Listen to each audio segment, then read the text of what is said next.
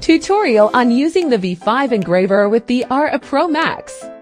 Pay attention to the placement direction. Make sure the cable port is positioned on the left. First, connect the roller's port cable. Turn on the power switch at V5. Then connect the cable to the machine accessory interface port. Note, make sure to turn on the V5 power supply before connecting the port cable. Finally, connect the computer data cable.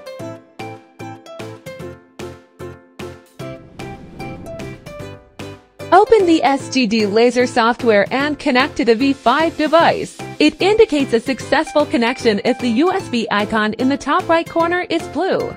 Secure the cup to be engraved onto the holder. Install the tailstock assembly as well. Finally, tighten the clamp and tailstock assembly. Move the clamp to the center of the laser. Align the laser spot to the exact center of the cup. Measure the distance from the RA Pro Max to the edge of the V5 machine. Make sure the distances on both sides are the same. This ensures the x-axis of the RA Pro Max is parallel to the V5's x-axis. Since we are using the 150mm field lens, switch on the 150mm field lens focusing button. Place a sheet of paper on the cup to facilitate focusing.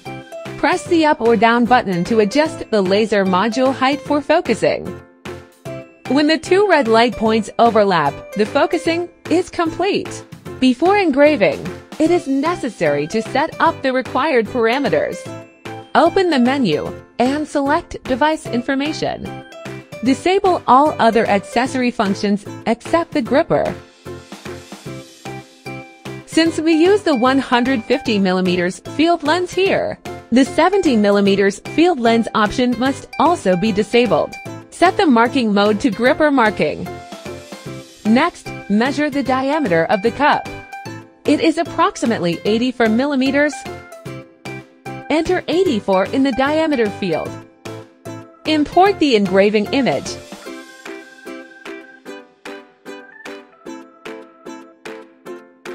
Convert the image into a vector file.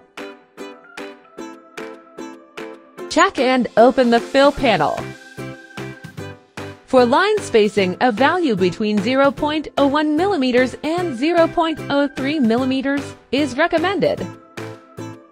Make sure to rotate the image by 90 degrees. Finally, click Preview.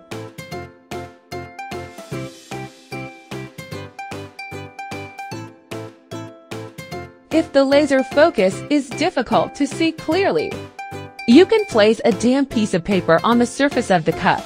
To make it easier to observe, scale down the image. Click Center. Preview again.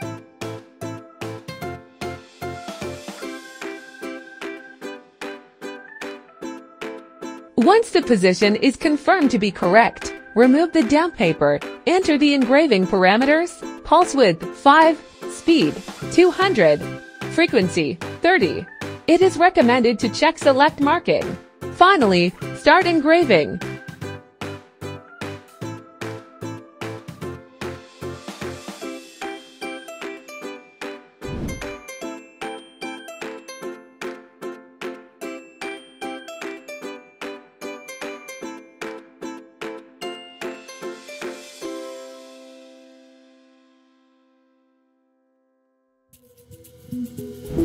Next, remove the clamp and install the roller attachment.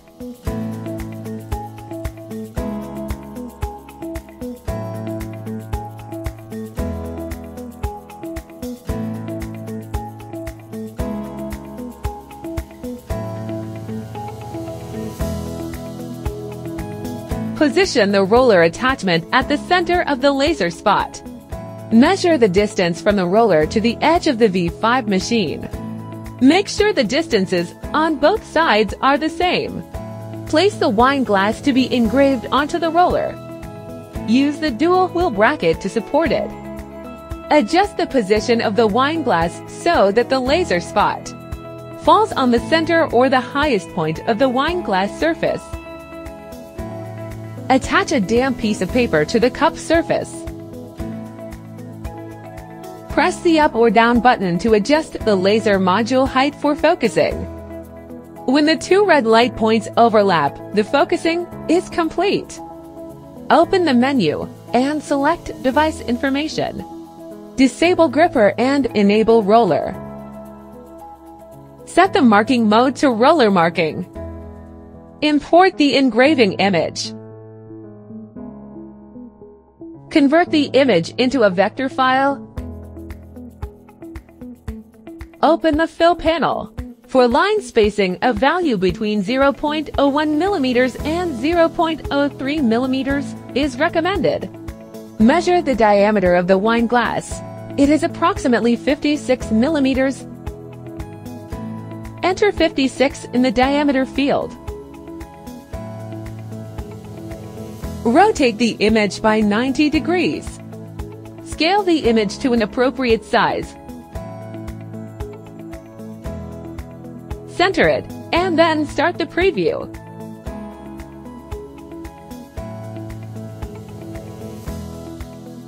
Once the position is confirmed to be correct, remove the damp paper, enter the engraving parameters, pulse width 1, speed 400, frequency 30.